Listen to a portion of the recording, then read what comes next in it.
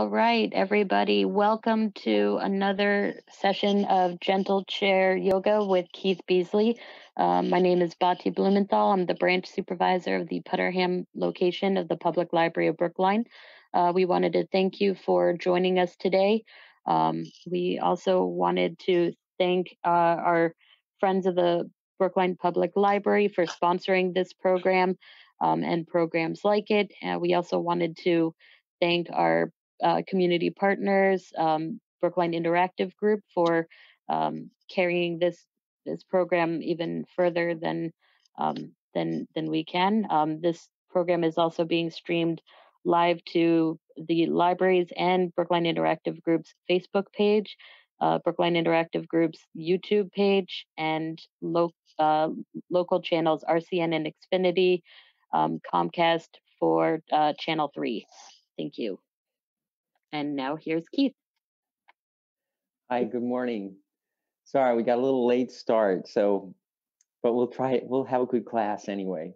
So let's start in mountain pose. And so our mountain pose is, or seated mountain pose, is our foundational pose in, in Hatha yoga. So Hatha means, a Hatha is a type of yoga. Yoga means union or wholeness, some people describe it as. And Hatha is really about uh, the physical part of yoga, which is using the body as a vehicle to um, unite ourselves, our spirit, our mind, and of course the body all together so that they function all together. And a big part of that is also the breath. The breath. So in Hatha Yoga, we like to emphasize two things, or two things are particularly important posture and breath. So let's, we're going to start with our posture with our seated mountain pose. And notice that the feet are a little bit apart.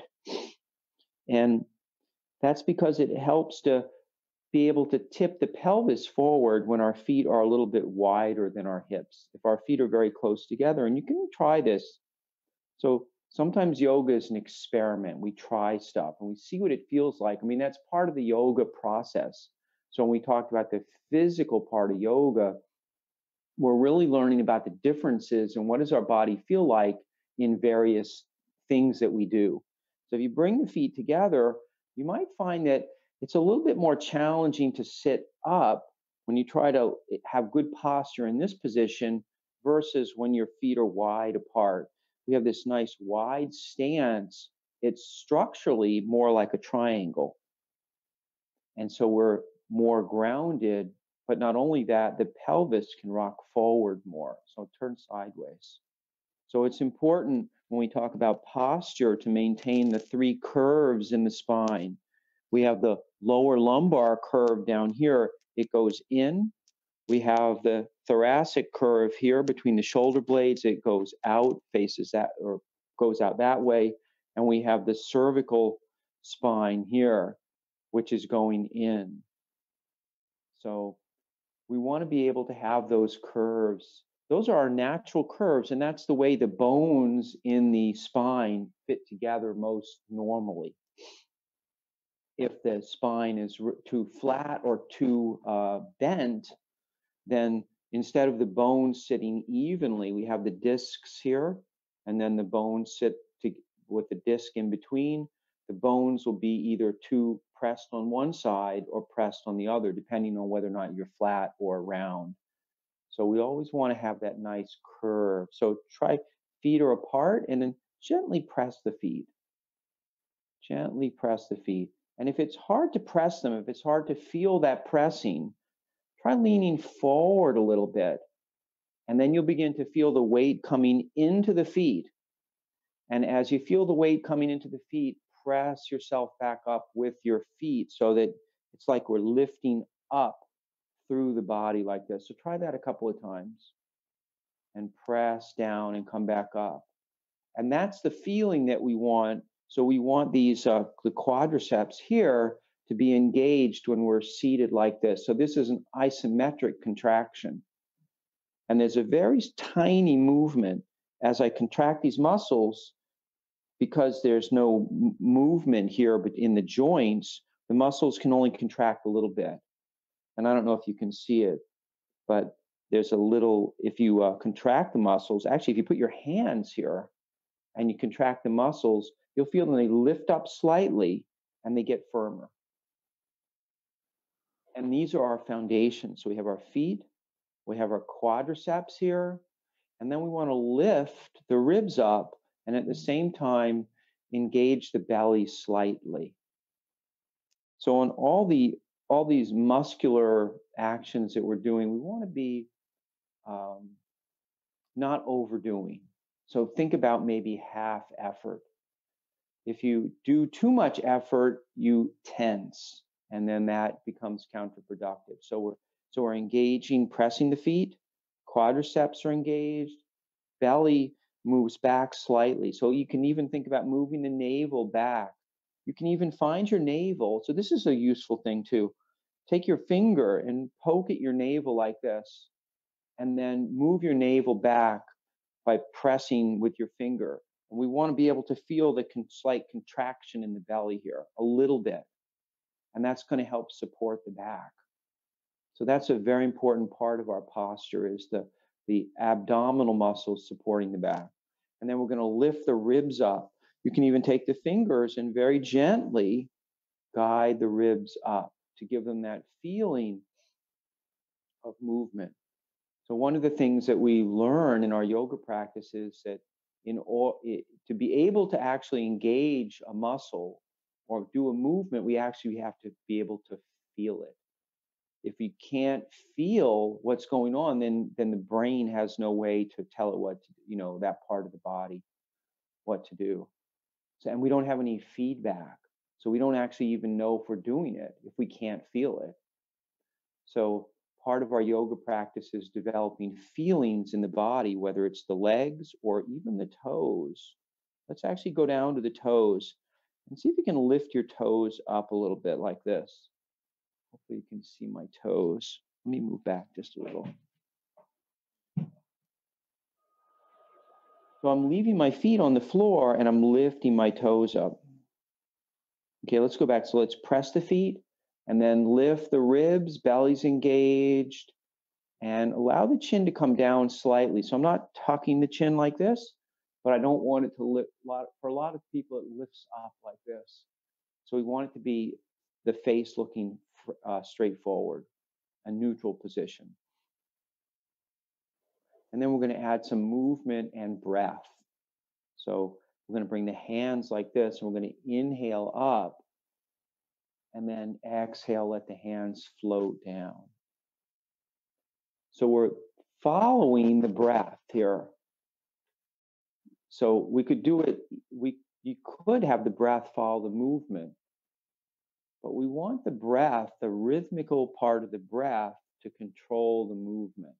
So I'm thinking about I can pause here for a moment. And then as I inhale, I let the hands float up. And then as I exhale, I turn the palms out and they float down. I'm going to keep doing this a few times. Keeping my shoulders relaxed. I also like, you'll notice sometimes I close my eyes. So when I close my eyes, there's no distractions. Like you might have seen the cat earlier. So the cat's right over near near the computer. And yeah, he moves around a little sometimes. So it's a distraction a little bit, or can be. So when I close my eyes, I'm not as distracted by anything because I'm not watching. I'm more engaged with feeling. And I'm using just partial effort here. So maybe 30 or 40% effort with the movement, focusing more on the breath. So as I inhale, I'm feeling the belly open. I'm going to move my hands down just so I can point, but keep the hands going in a circle if you can. You can always, so if your arms and shoulders get tired, you can always rest. So that's the other thing in our yoga class is that it's really your yoga class. And I can't feel what you're feeling. Um, but the rule of thumb in yoga is uh, it's a Sanskrit word. It's called ahimsa from the Sanskrit, Sanskrit language and it means nonviolence. So, you know, if we if we're overdoing and we're getting tension and strain or pain, especially, we're overdoing and we're being violent to ourselves. We don't want to do that. And so let's go the other way now. So just pause for a moment with the hands in front and take a breath. And then as you exhale, release the hands down. And then as you're going to inhale, I turn the palms up and I inhale, and then the hands float up on the inhalation. So there's exhaling, they're floating down, inhaling, they're floating up. So the up and down part with the breath is the same as before, but now because we've changed the direction, the uh, the hands are together when they float down, and they're apart when they float up on the inhalation. Shoulders are relaxed, face and eyes are soft. This is a way that we start to warm things up a little bit. And that's an important part of any physical exercise practice is we need to make sure that we warm up to help avoid any any kind of problems, to help avoid pain or injury. So and of course, if you ever if you're ever feeling real pain or discomfort when we're doing these exercises, please stop and uh, wait for the next exercise. And let's take a couple of breaths. We'll call this ca- cactus breath because we inhale in the hands, we look kind of like one of those saguaro cactuses. So the hands are swinging open and then swinging back. So we're inhaling and exhaling. And you have a few choices here as to how high the hands are. So you could work with the hands down here. It's a little easier on the shoulders. It also opens the back of the body. The feeling in the back of the body is different versus the hands being up here. Just the elbows no higher than the shoulders. We always keep no elbows no higher than the shoulder. This one. And then let's try giving ourselves a little hug like this. You might not have had a hug recently, so it's nice. So in lieu of reaching the shoulders, you can also reach the elbows or reach the uh, the triceps here. So for some people, the shoulders might not be comfortable. So it's okay to wrap yourself around like this. What we're really working on here is that, and I'm going to turn around so you can see, pardon my back, that when we open like this, the shoulder blades are coming together, the two bones here come together, and when I wrap my arms, they really spread apart. So there's this movement in the thoracic area. That's an area that's often stuck with uh, doesn't move well in a lot of people, especially if you use the computer a lot and you're like this. You, we tend to hunch over and the shoulders come forward. It's very common. We all do it. I do it too. Um, and we, we all suffer because of it. So let's sit up nice and tall and take a couple of breaths.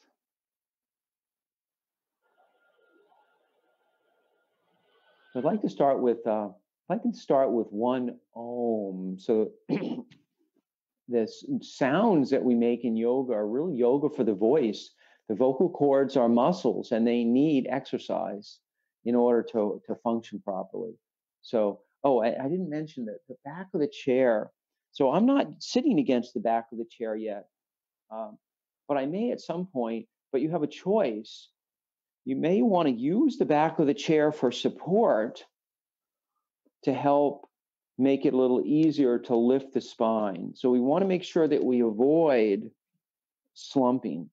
So this is sort of this is an exaggeration, but after we sit for a while, we often kind of just slump over. Our muscles get tired. They can no longer support the back. So that's a time where we can either get we can either stand up, which we won't do right now, but or you can slide all the way back in the chair. So we need to give our back a break um, and give it something different. So like right now, I'm leaning against the back of the chair. It's actually quite comfortable. Although a blanket, this chair is kind of, it's a wooden chair in the back, so it's kind of hard. So A little padding might be good for the back of your chair. And ideally, you've got a chair that is relatively flat. So I'm going to turn the chair so you can see. Since we haven't had this class in a while, I'll cover a little bit more of the some of the basic things. So this chair is relatively flat here. Some chairs lean back so that the seat of the chair looks more like this. No, no. These aren't the best chairs because it's hard to sit up when the butt's dropped back in the chair. So a flat chair is good. So if you don't have as flat a chair as you'd like this time, you can get it for next time. So you can use the back of the chair or not. I'm going to still use, stay forward in the chair for now. And it's a little bit more challenging.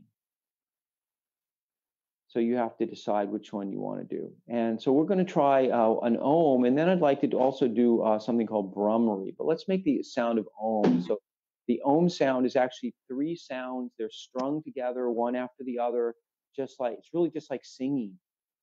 So the first sound is the ah sound. So please, if you if you're inclined, please try it with me. So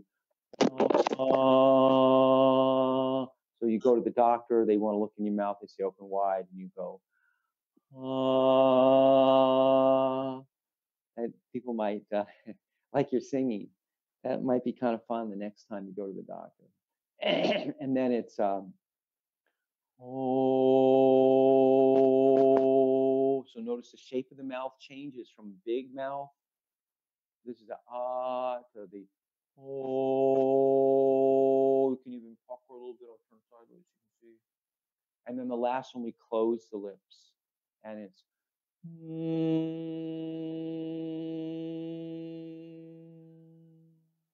You might even feel the vibrations going up into the sinuses. Sometimes it tickles the nose, even down into the chest and the heart area. So, one of the good things about these sounds is the vibrations they create. So, vibrations are good for our body, they can be stimulating and nourishing for our body. So let's try that, that sound of Om one time together. So we'll breathe in nor- nat- a normal, natural breath in. Om.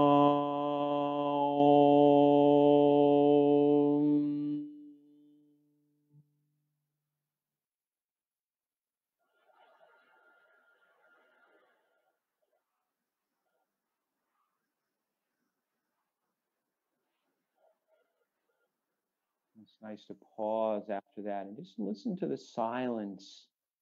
After we have a big sound like that, everything is, becomes very silent. Maybe not totally silent because there's other noises, but our mind can become more silent.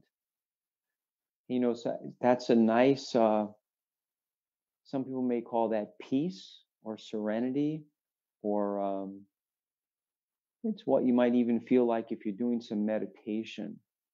Everything becomes peaceful and it makes you makes you feel better, makes us feel better. Some of the uh, other stuff in our life becomes it doesn't go away, but it becomes less intrusive. We're not bothered by it as much, and that's a really nice part of a yoga practice. Is that things are still there, but they don't bother us as much. And we're going to do something called Bhramari. So this is also called the bumblebee breath. And we'll start out it. I'll just dem- demonstrate it once. Imagine there's a bee flying, comes in from this side of the room. As it gets closer to you, it gets louder. And then as it flies out, there's a window over here. As it flies out the window, then it gets softer. So the, the sound get, starts soft, gets loudest, and then gets soft again and disappears. So it goes like this.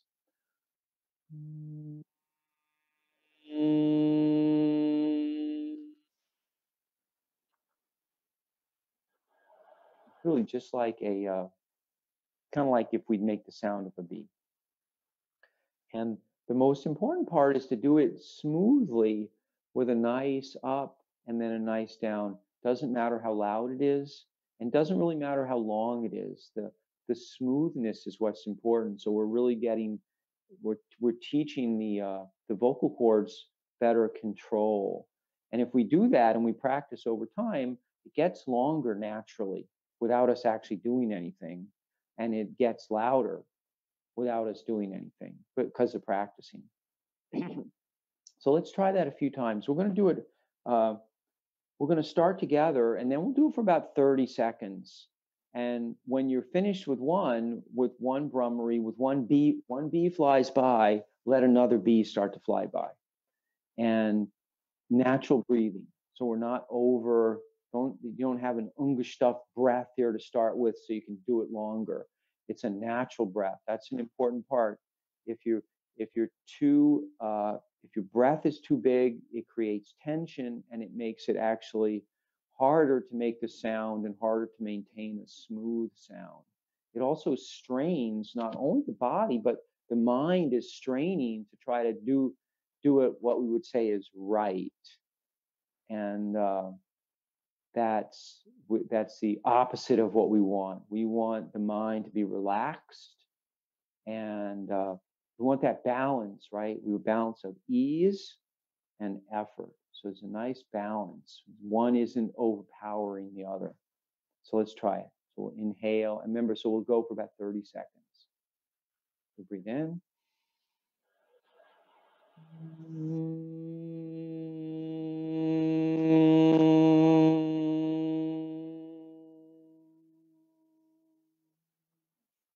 Nice natural breath in.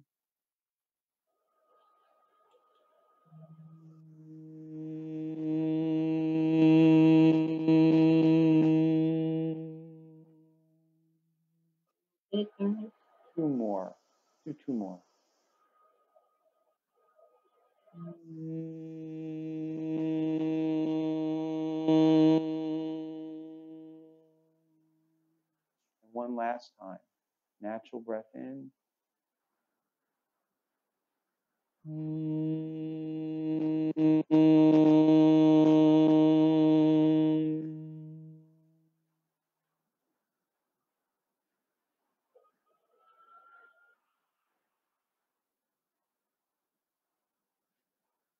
listen to the silence again.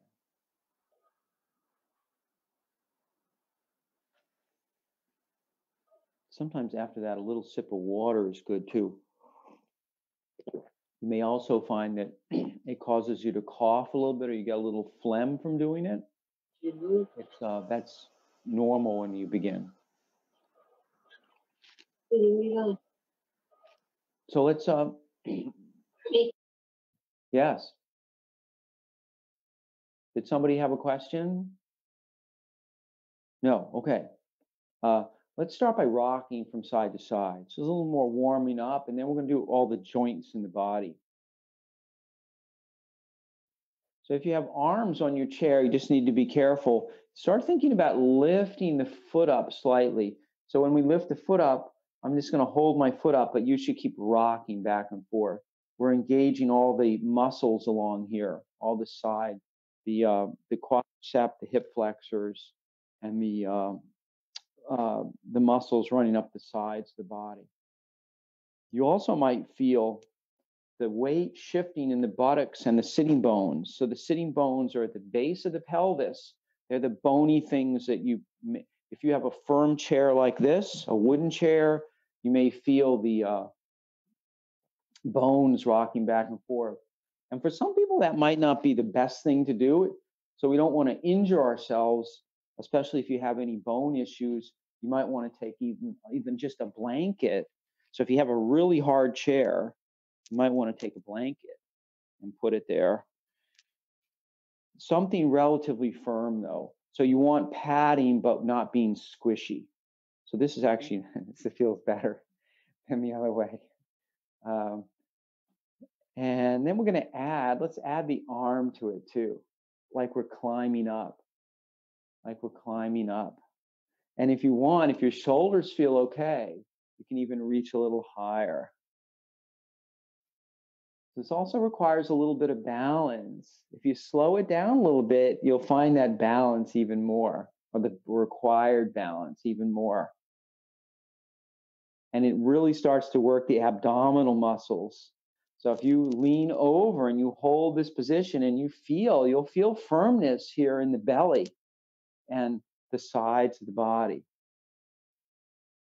And that's a, that's actually good. So remember, if you're back, if you're starting to feel uh, like your back is getting overworked, if there's any back pain at all, make sure you're using the back of the chair when you do this. You might not get quite as much movement using the back of the chair, just because rubbing up against the chair might slow you down a little bit.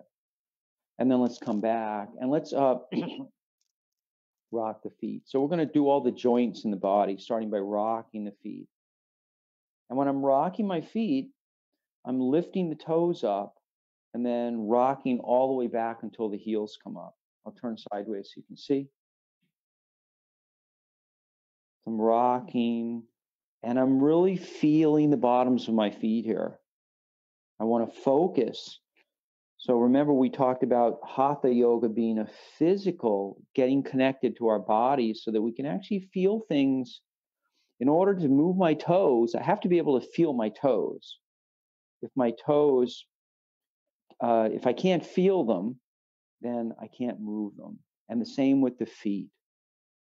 So sometimes we wear shoes so much that it's really our feet don't we don't feel them very much and the toes don't move very much. So if you want your feet and toes to move better then try something like this where you can begin to feel you can begin to feel and it takes time. This won't happen in one or even two classes. If you practice regularly you can build up the feeling in different parts of the body that you don't feel so much right now uh, it'll probably take weeks. It could even take longer.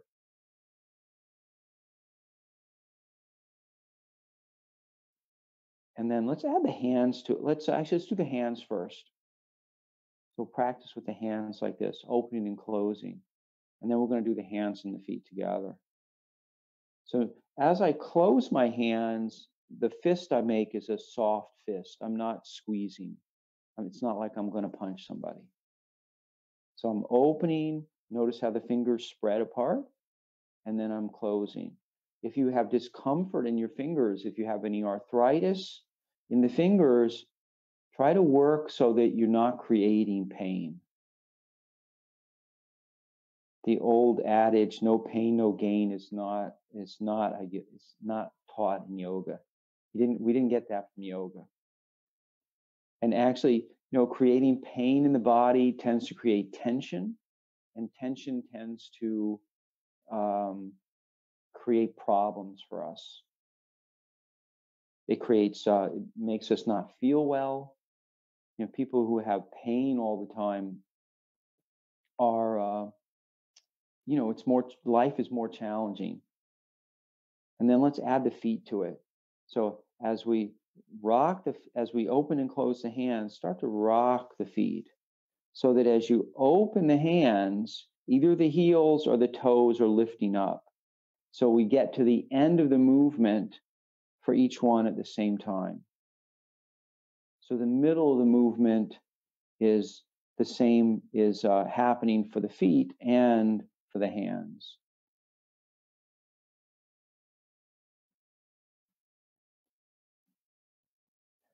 and see if you can begin to feel it rather than intellect think about it.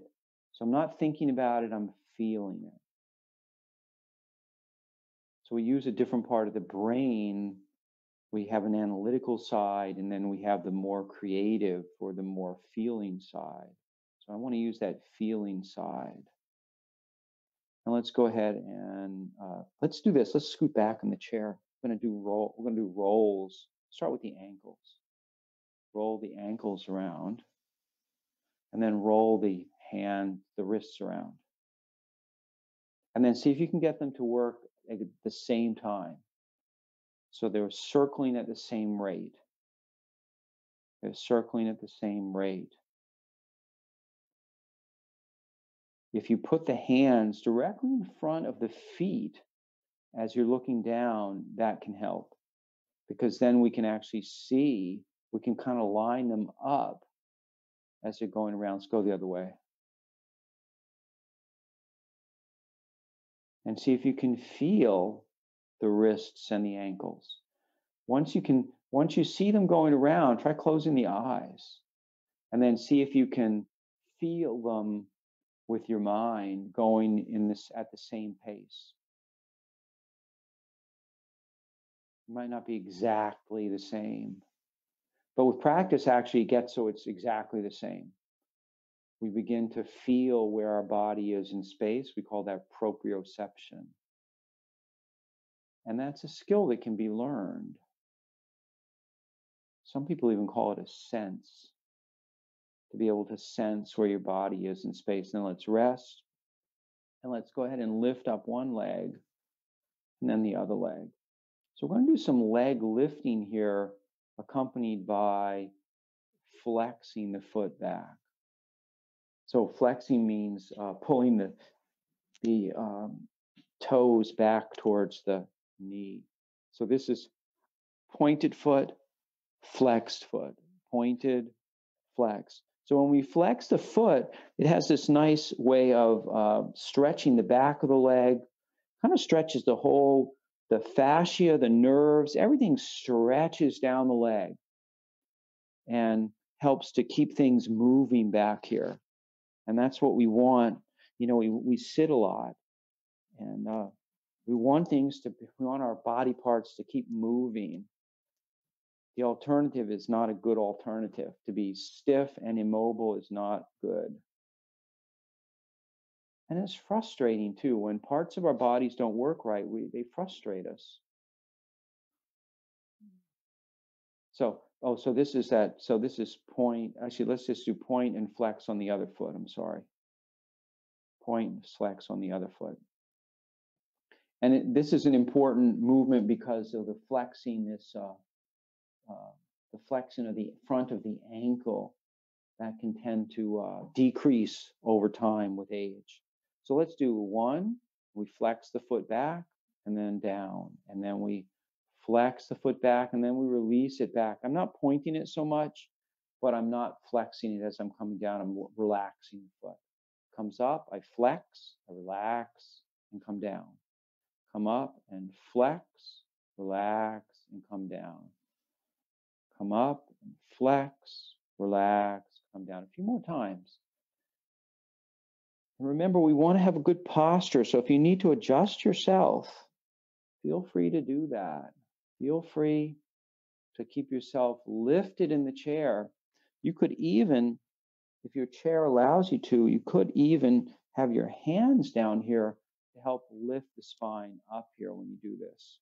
It's a little extra little extra effort.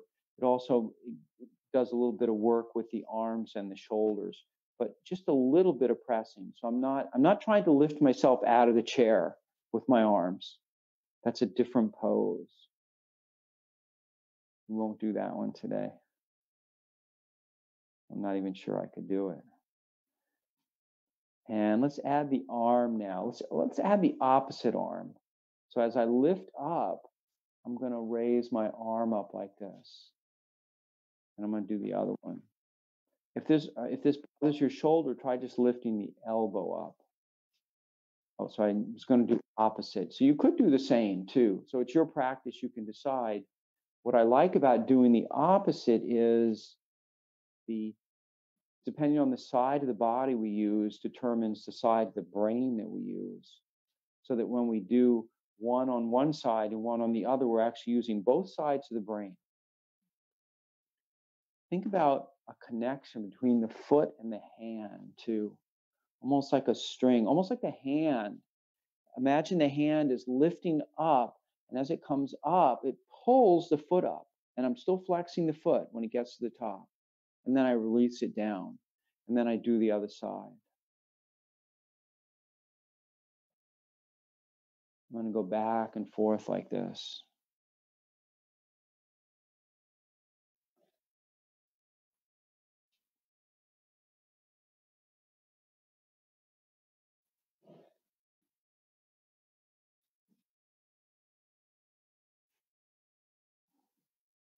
You could even work, if you wanted, you could work with both hands. It can be a little bit more challenging because when we do both hands any imbalances in the upper part of the body uh, tend to interfere with the uh, one half, with the other half of the body. So it's easier, it's a little bit easier, and sometimes more, uh, kind of more fun. That we get, I get better movement with just doing one one side. But if you wanted to, you could try this with two. It's a little more challenging. And we'll come back down. Let's slide forward in the chair. We're going to circle ourselves around a bit. So we're going to come back to our seated mountain pose. This time, make sure you have a nice wide stance. And we're going to start to circle around. So you can start with the hands on the knees, and then I'm leaning forward, leaning forward from the waist. So I'm looking forward so that my back isn't rounding. I'll turn sideways so you can see. So notice I'm leaning forward so that my belly comes down closer to my uh, my thighs. So I'm not rounding like this. We want to keep the, the spine extended. That's an important part of this movement is the extent keeping the spine extended or lengthy axial extension of the spine. So I'm not doing a back bend, but I'm keeping my spine elongated as I circle around. And if you want more of a challenge, you can Imagine you're stirring something in front like this. You could even let the hands go to the side like this and go around. So you can vary the arms depending on uh, the condition of your abdomen and your back. Let's change the direction. If you find that your back bothers you from doing this, try making the circles smaller. So sit up more and don't lean so much. You'll still feel the movement underneath. So as I move around, my weight is actually shifting. If I was to draw a circle underneath me, as if I was uh, uh, if I was sitting on something flat, I feel the weight shifting from one buttock to the other, then into one foot, into the opposite foot, into the buttock, into the other buttock. So there's another area where you can feel you can feel the weight moving around. As if my like when i'm doing my hands like this the weight my hands are following where the weight is moving and then i'm going to sit up nice and tall i'm going to take a couple of breaths inhale and exhale and remember to change the cross of the arms when you hug yourself so the top arm will be one arm for one hug and then the next one switch to the other arm. So this is the other arm for me right now. And then switch back to the other arm, which is now this arm. And then one more time on the other side. And then go ahead and lower down. Let's do the neck. So we're sitting up nice and tall, and we'll release the chin down. So the neck is one of these, it's very, we want to be very gentle with the neck. So there's no forcing here, moving the neck. I'm just releasing the chin down and letting the weight of the head stretch the neck. And then when I lift it back up, I'm not going too far back. I'm really just looking up slightly. So I'm not doing this. Please don't do this. Very important not to. So you notice that when it, when you do that, the whole back of the neck gets squashed. We don't want to do that. We want it to be feel nice and open. You could even try a little something you could try is if you interlace the fingers like this and put them on the back of the neck for support, you'll start to feel the neck bending and then you can release it back down. The nice thing about the hands back there is it actually creates this open space on the back of the neck when I do this. So you only want to do this so if your shoulders feel good when you when you have the fingers interlaced like that. Don't do it if your shoulders hurt. And then we'll stop and just take a breath. And then we're going to tip the head from side to side. And let's, if you want, you can add a pillow to it. Hands together like this. And then resting the ear on your pillow. This is a really nice, I like, I actually like this. This is very relaxing for me.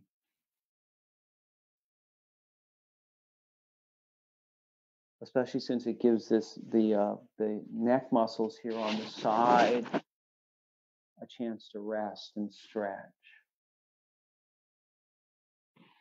And then we'll do it once more on each side. And again, I'm not forcing my head down. I'm just resting it as if I was resting my head on a pillow. And then I come back up. And then we're going to turn the head. Consider closing your eyes here and going nice and slowly. Thinking about only turning where it feels easy to turn. So it's not this this is not about increasing your range of motion, although that may happen as a result of this.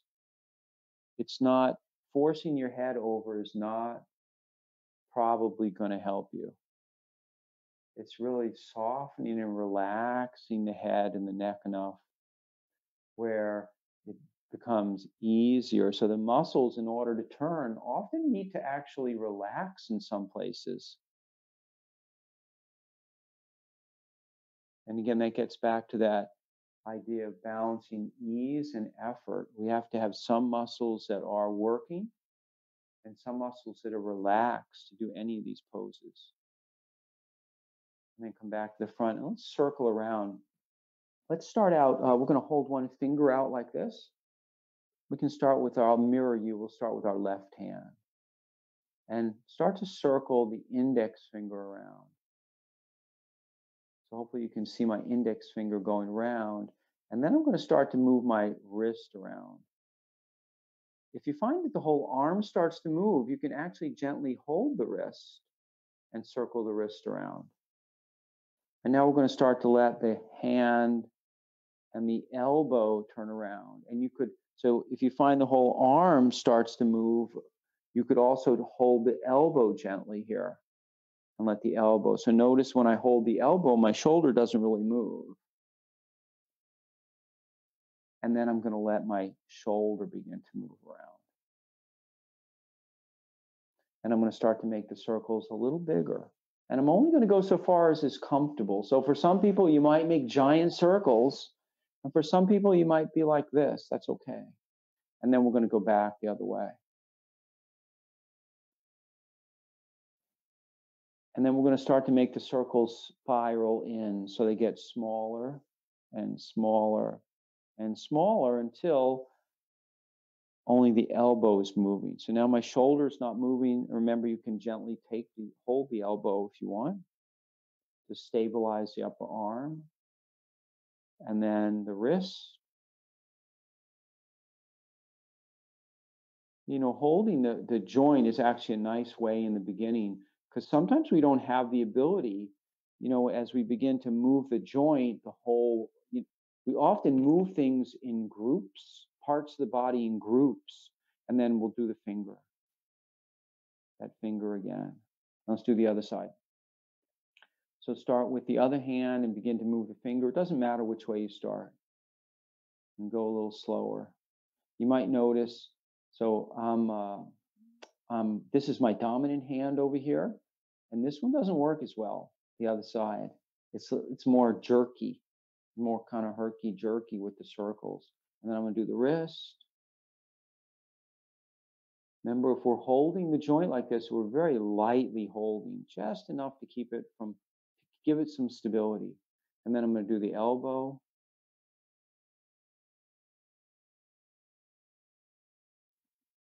and then I'm going to do the shoulder. So now my shoulder, and I'm going to make the circles get a little bigger. I'm going to spiral out. And then I'm going to start to spiral in the other way. So change your direction and then begin to make the circle, the spiral smaller and smaller and smaller until now it's pretty small. And then I'm going to hold the uh, elbow again to stabilize the elbow. So now just the elbow is moving. And then I'm going to try the wrist, hold the wrist.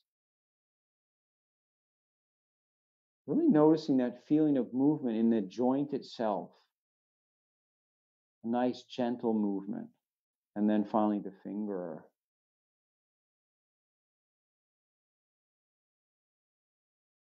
My, this finger doesn't even want to make a circle. It wants to go like this. It wants to flap up and down. So it goes to show you some some imbalance. So we all have these imbalances where like this finger goes well in a circle, this finger doesn't go so well. And that's just life. That's the way we are. I always think of the lobster with the big claw and the little claw and how they do uh, do stuff. And let's see. So we uh, we're doing all the joints in the body. We did the toes and the ankles and the knees and the hips. We just did the neck and the shoulders and the arms and the elbows. So I think we covered everything. So let's do a few cactus breaths again. So we're going to inhale and exhale, and then inhale and exhale. So we're going to transition. You have a choice here. You can uh, stay seated or we're going to stand for a, a, few poses. So you'll be able to do these seated or standing. So if you're, we're going to come to our mountain pose. So mountain pose seated is as we began in the beginning of the class, is like this. And mountain pose standing is essentially the same pose with the legs straight. So for this one, if you do have your chair, you may want to have your chair in front of you. Or if you had two chairs, ideally, you could have one behind you and one in front of you. So I'm going to move this one to the side and turn a little bit so you can see a little better.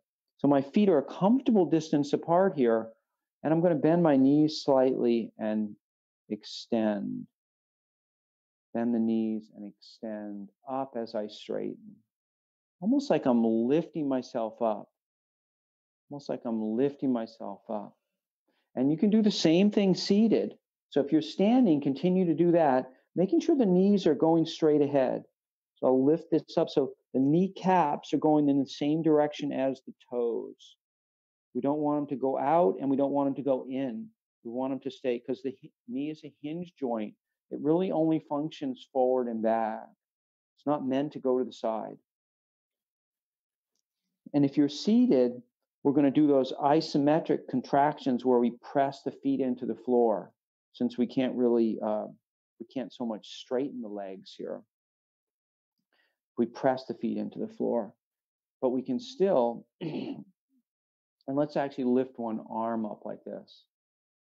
So you might not be able to see my hand up there, but I'm just reaching up and then coming back down. So my arm is lightly extended. My fingertips are lightly extended like this at the top.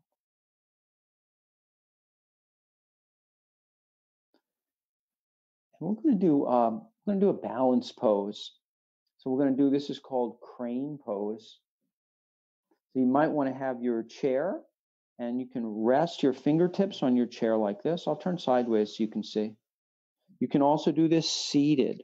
So same thing. So if I'm resting my fingers like this, and then I'm going to lift up my knee like this, and then I'm going to step down. If you want more of a challenge, if your balance is good, you can just lift up like this. So we're going to start. This is in the beginning. It's almost like marching. So if we were to march, actually, let's try marching for a moment. Just like walking, just like marching.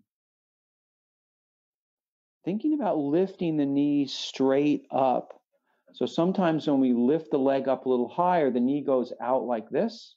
We want to avoid that. We want the knee to come straight up, even if it doesn't come as high.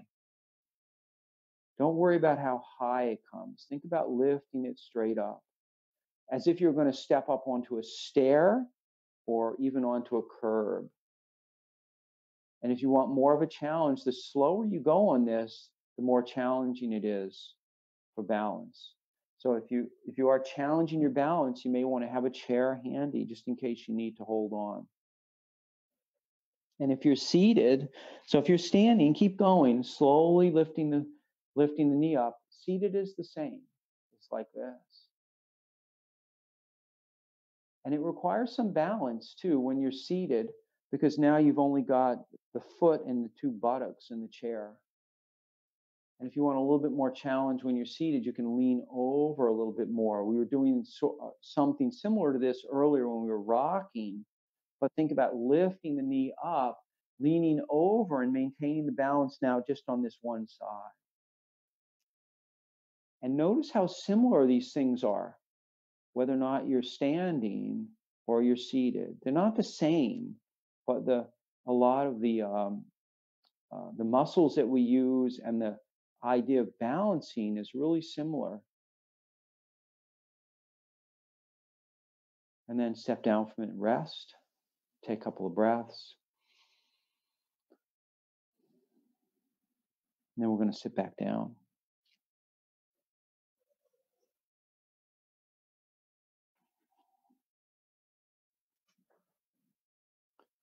We're going to start to cool down a little bit.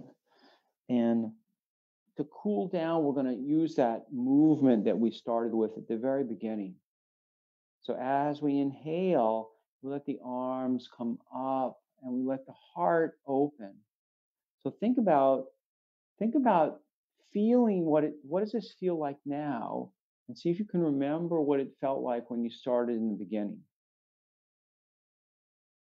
Hopefully it feels a little more uh, the movement feels a little easier to do here it might only be a little bit easier. Sometimes it could be a lot easier. Sometimes after we get moving a little bit and we do some exercising, it or the movement in the body seems to open things up a little bit. But it also may just be a small amount, or you might not feel a difference at all, or you might not notice a difference. Let's go the other way. So bring the hands together and then drop the hands and then inhale and exhale down and inhale up and exhale down. We're going to find our Shavasana pose, our seated Shavasana pose. And actually, I'm going to put a little padding on the back of my chair like that.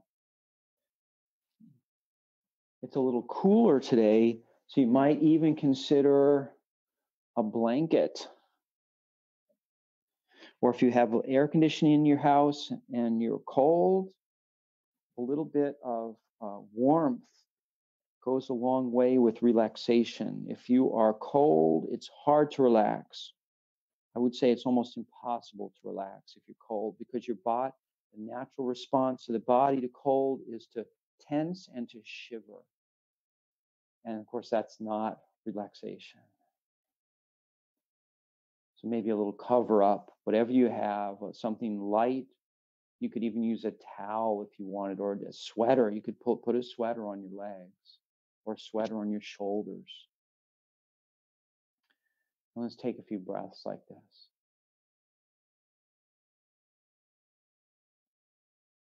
And each time I inhale, I want to feel a gentle lifting in the body, but without too much effort. Really just trying to make sure I'm not slumping here. So there's this gentle lifting, and then as I exhale, I soften, I relax the shoulders.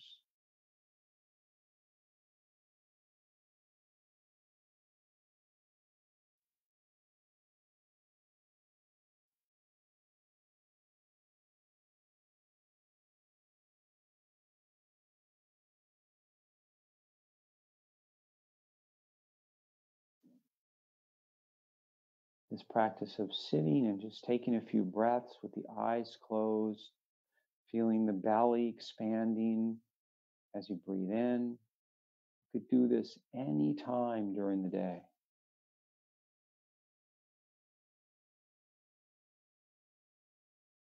Anytime you need a little break, you can even go in the bathroom and do it. Just go in, as if you're going to the bathroom, go in, shut the door, and just sit for a few minutes, take a few breaths, and it's a nice way to calm everything down. Especially since for many of us it's hard to get outside.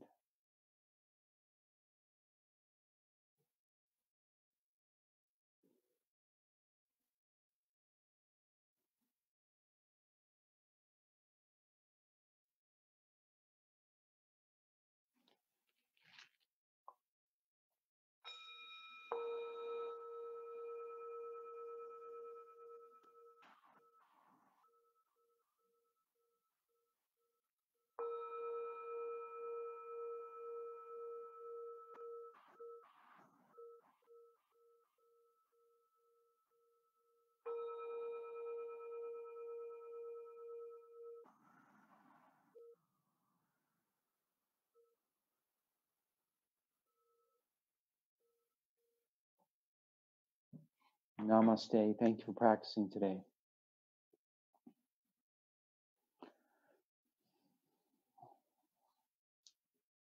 Thank you, everybody. This is Batya Blumenthal, branch supervisor of the Putterham location of the Public Library of Brookline. Once again, we wanted to thank Keith for uh, bringing us through this practice today. Uh, we also wanted to thank the Friends of the Brookline Library for sponsoring this program and programs like it. Um, we also wanted to thank our community partners, Brookline Interactive Group, um, for uh, boosting this signal as well. Um, before we leave, I just wanted to make sure that everyone uh, was able to he, um, recognize the disclaimer participation in this online yoga program could result in injury. Not all exercises presented here are suitable for everyone. These exercises are not intended to substitute for proper medical care or advice. Always consult your physician before beginning any exercise program. The creators, teachers, and producers assume no responsibility for injuries from participation in this program. Thank you so much.